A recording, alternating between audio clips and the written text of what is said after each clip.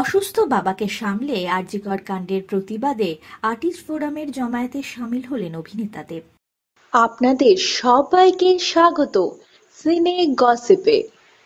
বন্ধুরা শনিবার টলিপাড়া সাময়িক স্তব্ধ। তার কারণ ছটা থেকে রাত দশটা পর্যন্ত তারকাদের সমাবেশ।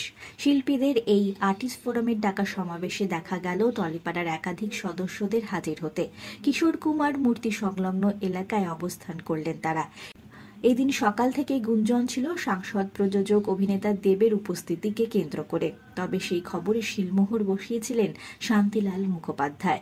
আর্টিস্ট ফোরামের সম্পাদক শান্তিলাল মুখোপাধ্যায় আগেই জানিয়েছিলেন সংবাদ মাধ্যমে এই জমায়েতে সামিল হবেন অভিনেতা দেব তিনি জানিয়েছিলেন, দেব ছাড়াও রঞ্জিত মল্লিক, পরমব্রত চ্যাটার্জি, আবির সহ অন্যান্য তারকাদেরও দেখা যাবে এই জমায়েতে হাজির হতে। শান্তিলালের বক্তব্য ছিল, দেবের উপস্থিতিকে কেন্দ্র করে আমরা সকলেই জানি দেবের বাবা অসুস্থ, তা সত্ত্বেও তিনি জানিয়েছেন তিনি উপস্থিত থাকার চেষ্টা করবেন। বেলে হয়তো তার সঙ্গে আসতে পারেন রুক্মিণী মৈত্র, তবে এই দিন সমাবেশে উপস্থিত থাকতে পারবে না প্রসেনজিৎ, শাশ্বত চট্টোপাধ্যায়, চিরঞ্জিত চক্রবর্তী, জিৎ সহ কিছুজন।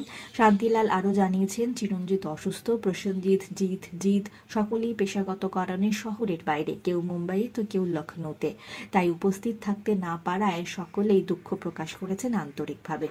আরজিগড় কাণ্ডের প্রতিবাদে চোদ্দই আগস্ট রাত্রেবেলা দেখা গিয়েছিল সাধারণ মানুষের সঙ্গে পা মেলাতে রূপুলি পর্দার তারকাদের। তারপর বিভিন্ন সময় প্রতিবাদে দেখা গিয়েছে বিনোদন জগতের শিল্পীদের হাজির হতে। দেব ইতিমধ্যেই তার আগামী ছবি খাদানের টিজার মুক্তি স্থগিত করেছেন বিদেশ থেকে এই সামাজিক মাধ্যমে ঐক্যবদ্ধভাবে আন্দোলনের বার্তাও দিয়েছেন অভিনেতা। তিনি তার পরিবারের পাশে থাকার প্রতিশ্রুতিও জানিয়েছেন অভিনেতা দেব।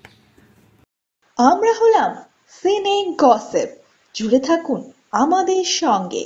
সাবস্ক্রাইব করুন আমাদের এই ইউটিউব চ্যানেলটি